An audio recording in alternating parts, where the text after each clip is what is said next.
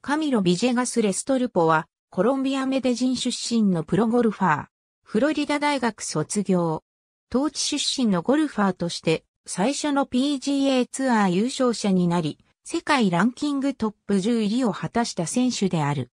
パットのラインを読む際の独特な姿勢からスパイダーマンというニックネームで呼ばれている。世界ランキング自己最高位は7位。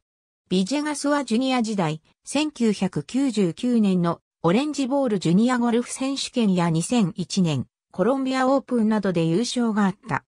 フロリダ大学の学生ゴルフ選手として、2003年のプレイヤーズアマチュアなど多数のタイトルを獲得した後、2004年6月からプロゴルファーになる。彼のプロデビュー戦はメジャー大会の全米オープンゴルフであった。2005年はアメリカ PGA ツアーの下部組織に位置するネーションワイドツアーを回り、その賞金ランキング13位に入ったことから、2006年から PGA ツアーのメンバーになる。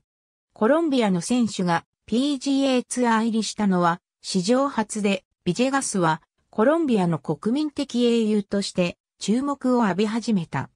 2007年3月のホンダクラシックでビジェガスは3人の選手によるプレーオフに進出したが、ここではマーク・ウィルソンに敗れてツアー初優勝を逃した。この年はジャジテオツアーのコカ・コーラ、東海クラシックで優勝があり、国際トーナメントで初優勝を挙げている。2008年にビジェガスはさらなる躍進を遂げ、フェデックスカップ、プレーオフ第3戦の BMW 選手権でコロンビア人初の PGA ツアー優勝を果たすと、最終戦の PGA ツアー選手権でも、セルフィオ・ガルシアとのプレーオフを制した。